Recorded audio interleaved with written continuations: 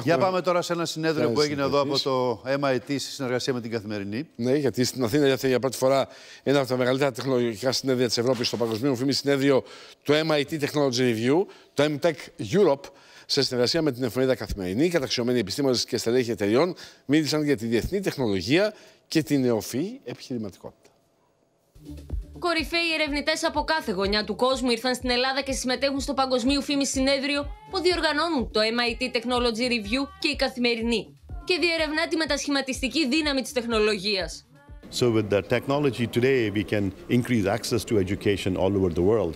And today we are bringing in AI into education. Αισθανόμαι ότι όλες οι νέες τεχνολογίες πάντα είναι μια καινούργια υπόσχεση και ελπίζουμε να αναδείξουν όλα τα θετικά χαρακτηριστικά που μπορούμε. Αισθάνομαι ότι είναι χρέος μας, ε, εμάς τους ερευνητές, να συμβάλλουμε ε, σε αυτή την εξέλιξη. Πώς θετικές και θεωρητικές επιστήμες μπορούν να γίνουν ένα μέσω της τεχνητής νοημοσύνης; Για μένα ένας προσωπικός στόχος είναι και ο πολιτισμός. Μεγάλο κομμάτι της δουλειάς μου τα τελευταία χρόνια έχει αφιερωθεί στην χρήση της τεχνητής νοημοσύνης και την ανάδειξη του πολιτισμού μας. Συγκεκριμένα δουλεύουμε με, ε, με ιστορικούς και αρχές ελληνικές επιγραφές για το πώς μπορούμε να τους βοηθήσουμε φτιάχνοντας εργαλεία που συμβάλλουν στο έργο τους. Ήδη 80 τουλάχιστον καθηγητές σε όλο τον κόσμο διδάσκουν ιστορία με τη βοήθεια της τεχνητής νοημοσύνης, ενώ και το Υπουργείο Παιδείας ετοιμάζεται να καινοτομήσει, φέρνοντας τα ψηφιακά φροντιστήρια για όλους τους μαθητές. Ο στόχος είναι να παρέχουμε όλο το περιεχόμενο, όλο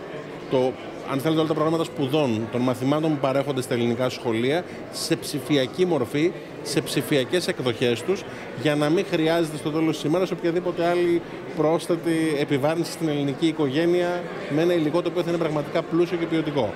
Και δεν είναι μόνο η εκπαίδευση. Η τεχνολογία μπορεί να είναι και όπλο ακόμα και απέναντι στην κλιματική κρίση. Βλέπετε πολλές προσπάθειες να γίνονται για την απελευθέρωση ε, της παραγωγής ηλεκτρικής ενέργειας από τα ορυκτά καύσιμα, αλλά δεν βλέπω καμία κίνηση να γίνεται για την παραγωγή υγρών καυσίμων, τα οποία χρειαζόμαστε για τα αεροπλάνα, για τα πλοία, για πολλά αυτοκίνητα μέχρι να αποσυρθούν.